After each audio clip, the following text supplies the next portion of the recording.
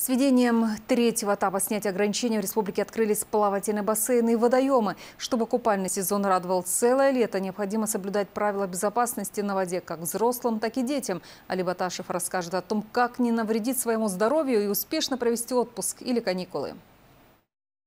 Купание в летний зной любят и взрослые, и дети. Многие мальчишки и девчонки приходят на пляж без родителей. И часто о правилах безопасности на воде они узнают из памяток, которые раздают им сотрудники МЧС. Мы не купаемся в местах запрещенных и неизвестных нам, то есть для того, чтобы не попасть в какой-нибудь водоворот, удариться там о корягу, значит, повредить ноги.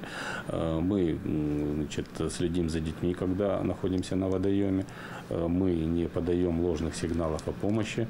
Мы не употребляем спиртные напитки. То есть это вот основные правила, которые необходимы для безопасного поведения на воде. Некоторых юных любителей плавания не останавливает даже непогода. Когда небо содрогается от грома и проходящий ливень побуждает многих покинуть пляж, отдельные отчаянные пловцы продолжают нырять и купаться.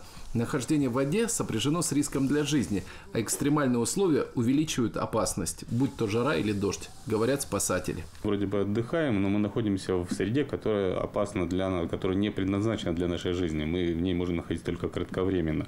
А вот э, в жаркую погоду, если мы очень быстро войдем в водоем, у нас может произойти мышечный спазм. Очень резко меняется температура э, тела, то есть нагрузка на организм, на сердечно-сосудистую систему. Что касается вот в дождливую или ветреную погоду, ну, здесь может быть удар молнии, здесь может быть потеря видимости, то есть вас ослепило ветром, там бросило в глаза какой-нибудь э, пакет, мусор, песок. То есть, э, ну, купаться нужно в определенных местах и в хорошую погоду, в погоду, предназначенную для этого, а не в экстремальных условиях. Мы же все-таки отдыхаем, а не занимаемся экстремальным видом спорта. Вопрос обеспечения детской безопасности на водоемах республики по-прежнему остается острым. У нас очень серьезные водоемы, у нас горные реки с быстрым течением, поэтому если вы отдыхаете на берегу водоема с детьми, э, дети должны быть под постоянным контролем. За ними необходимо постоянно постоянно смотреть, потому что обрывистый берег, быстрое течение. Здесь э, буквально недалеко до беды. Поэтому, товарищи взрослые, если вы находитесь на берегу горной речки с детьми, будьте добры внимательно следить за ними.